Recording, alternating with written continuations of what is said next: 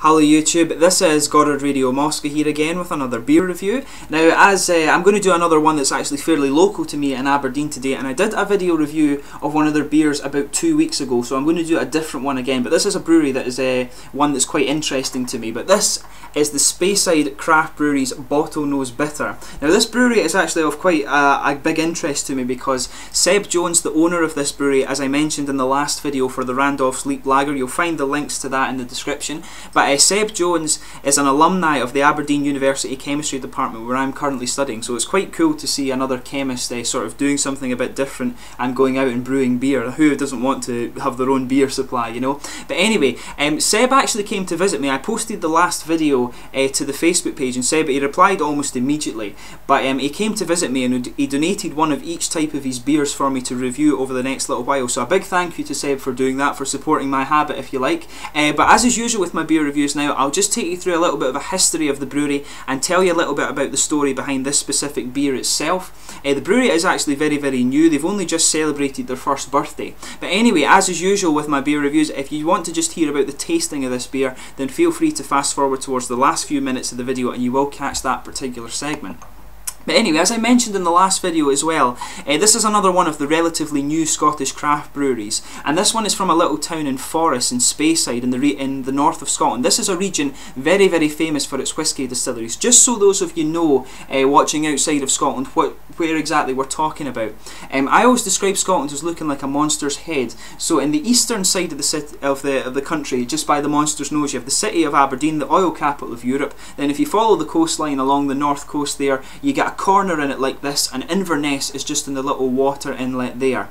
And uh, if you go right in between these two cities, you come to the town of Elgin, very famous for Elgin Cathedral, a prominent uh, point in Scottish history. And Forres is just the next little town along from that to the west of Elgin. But it's a very, very beautiful region of the country actually. You get a very, very beautiful train ride uh, from Aberdeen to Inverness. So if you're visiting Scotland from outside of the country, definitely check that out. But as I mentioned, this region is uh, particularly well known for its distilleries, and these include, I've got a list of them for you here, Aberlour, Balvenie, Benriach, Benromach, Cardhu, Cragganmore, Dallas Dhu, Glen Grant, Glen Moray, Glenfarclas, Glen Fiddich, Glenlivet, Macallan, Speyside Cooperage and Strathisla. Uh, but there's also another few uh, local craft beer breweries and this includes the Windswept Brewery in Lossiemouth right on the north coast just to the north of Elgin. There's the Cairngorms Brewery in Aviemore and there's the Brewmeister in Keith as well. They actually hold the record for the world's strongest beer at the moment so I believe. But obviously there are others, uh, there are other craft breweries uh, over by Aberdeen and by Inverness as well. But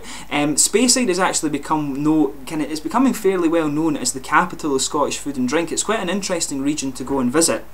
But anyway, moving on to the brewery itself. The brewery was founded, as I said earlier, by Seb Jones, who is a former chemistry student of the, Ab of the University of Aberdeen, one of Scotland's four ancient universities. Apparently he had been brewing on and off with his dad since the age of 13, and they used to experiment with different home brewing kits and things like that.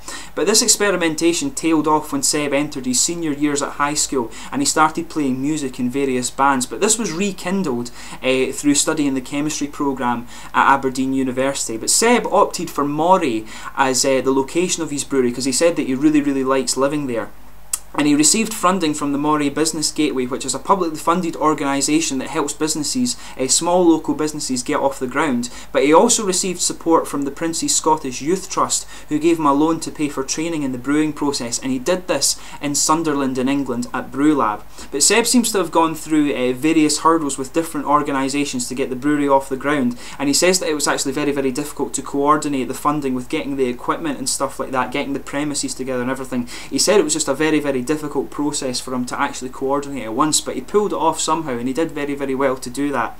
Uh, but he said that the people, one of the things that he had as well was that he had to find investors for the beer, but he said that this was actually a, a remarkably easy thing for him to do, and when he told people that he wanted to start up a beer brewery, they were always very, very receptive, and he certainly wasn't short of uh, offers of investment in the brewery. But if you go onto the brewery website, which I'll put the link for in the description, I'll also put the Facebook page up there as well, uh, but in, the, in his letter on the brewery website, he says that his brewing journey began about 30 months ago, but the brewery uh, was launched only about 12 months ago. Actually, they only very recently celebrated their uh, their first birthday. There was an event at the pub in Forres, which unfortunately I couldn't go to. Seb invited me to that, but I had uh, a lot of uni work and stuff to do, unfortunately. But hopefully, I can get out there and have a look at the brewery sometime. He seemed quite open for me to go and do that. As I say, a very very nice guy. But the brewery website also has a blog where you can keep up to date with the current ongoings at the brewery. But you will get, uh, from what Seb tells me, you'll get more information out of the Facebook page. So as I say, that's in the video description for you. But anyway, let's talk about the brewery's beers itself. Now, as I mentioned, I've already reviewed the Randolph Leap Lager. This one is named after the gorge on the River Findhorn uh, in Speyside. It's a very, it's meant to be a very, very beautiful place. But I'll put the video, the video link for that uh, video review is in the description as well. They also do the Moray IPA, which is the red label beer and they also have the Bow Blonde Fiddle. And this name is a reference to the Bow Fiddle Rock, which is a gull colony in the local area of, uh, of Moray as well. But all the different Speyside beers have different uh, coloured bottle caps and things on it. I'll just let you have a, a look at that just now. As you can see, I'll bring the camera up again. But yeah, as you can see here, it's actually got a really, really nice design on the bottles here. I commented on this in my last video as well. It's quite cool. It's just a sort of scrunched up bit of paper, if you like, that goes around it. Uh, or it's designed, the paper is designed to look like that. This one has a little bit of a product description on it as well. It says, "Bottle Bottlenose Bitter is a classic Scottish bitter with a deep amber colour, a hint of uh, malt, and a good hop balance. It is brewed to celebrate and support Scotland's only colony of dolphins on the doorstep of the brewery in Moray Firth.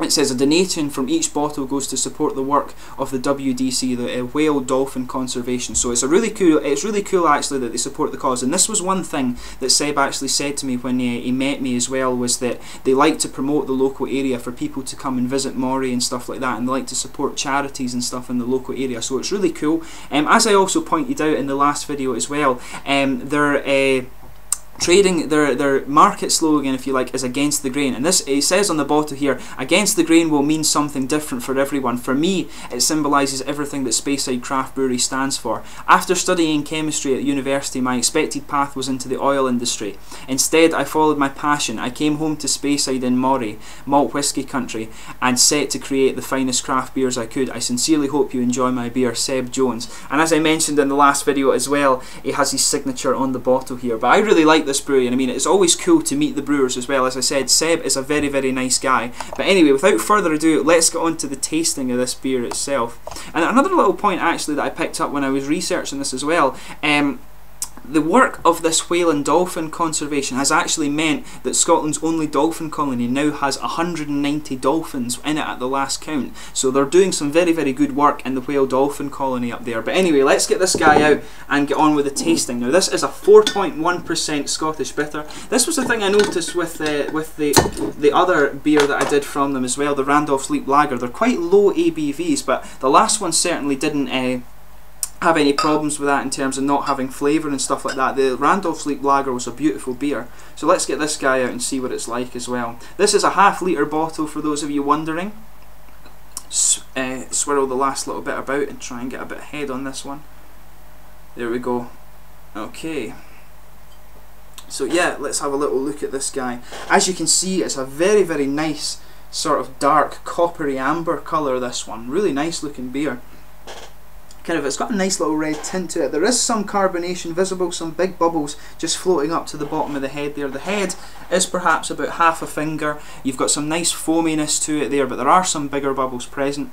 In terms of the aroma, and this is actually, this is really quite malty on the nose. The other one was quite hoppy on the nose, but this one's a lot more malty. But yeah, I'm getting the toffee malts off this one. There's some fruits and cereals in there as well. It's actually a really, really nice smelling one. But it's got some very, there's some very, very slight roasted character to this also. But yeah, toffee malts, some fruit, some sort of um, berry, not berry fruits, I guess. Sort of dark fruits, I would maybe describe it. But there are some cereals and grains and stuff in there. And there is some roasted character to that as well. It's quite a nice smelling beer, this one. It smells quite attractive, I have to say. Really, I could smell this one all day actually. It's pretty beautiful. But let's get on with the tasting of this guy.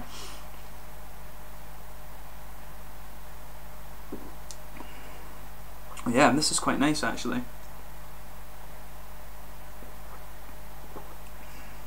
The thing that's coming in with this one first is the light sort of toffee-ish uh, malts in it. That's what's coming up first. But those malts actually have they have quite a bit of roasty and maybe just a little touch of earthy character in there as well.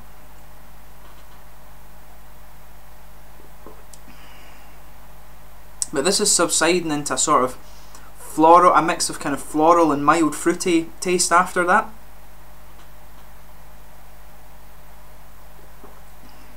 But the thing I'm also getting from uh, from uh, this one and the last one that's quite characteristic and this is one of the big points of the brewery, it's Speyside water. You can taste that in there. And I mean, if you taste these beers, you will see what I mean with it. It's something you really have to try for yourself, but you can taste the influence of the Speyside water in there. It's very, very smooth. It makes the beer very smooth. I think you would describe it as soft water. It's really, really nice. But as I say, with the individual flavour of this beer, the first thing you're getting is the top is the sort of toffee malts with a little bit of grainy, roasty character in there, and then it's subsiding into a sort of uh, floral sort of taste, if you like, with some fruity uh, flavours in there as well. It's actually, once the malt goes away initially, it's actually a very, very mild flavour. On the aftertaste as well, you are sort of just getting the, the remnants of the floral thing, and you can just get a little bit of a taste of the sort of cereals and grains as well coming in on the aftertaste. So actually, as, as I say, it's a very, very kind of mild flavour compared to the Randolph's Leap Lager, but it's still a very, very nice beer. In terms of the mouth, I would say this one. I would describe this as light-bodied. There's maybe an element of sort of creaminess to the to the mouthfeel as well. It's very very smooth actually, and the carbonation. I would say is quite light. It does that when you first take it in, you get that it sort of complements the sort of roasted malt character very well. But then after that, it's very very subdued.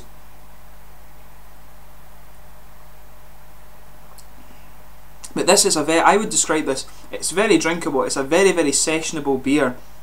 And it's very, very malty. This is meant to be in a sort of classic Scottish bitter style, and this is probably the first Scottish bitter I've had actually. But this is a really, it's actually a really, really nice one. As I say, the flavour is a bit milder than the Randolph Leap Lager. It's a very, very different style though. I mean, it's hard to compare the beers in that way, but it's a really, really nice beer, I have to say. I mean, all, any of the beers you get from this brewery are worth checking out. I tried... Um, the blonde beer that's only just a new release from Seb as well and that's a really really nice one I'll review that for you at a later date but anyway as I say this is a really nice beer definitely worth trying out if you get the chance I hope the beer review's been informative I've enjoyed uh, doing another beer review for the Speyside Craft Brewery. I hope that you've enjoyed this and found it informative. A big thank you to Seb again for donating this beer to me. There will be another two uh, Speyside craft beer reviews in the near future but they've also as I say they've released a stout as well so hopefully I can get a bottle of that and review it for you at a later date as well but thanks again for watching my beer reviews if you haven't uh, already subscribed please consider it as I say uh, let me know in the comments section what your own thoughts on this beer are. It's always interesting to hear that. But thanks again for watching my beer reviews. You've been watching Goddard Radio Moscow. Like, subscribe, share, all the usual YouTube stuff. But I'll catch you soon. Cheers.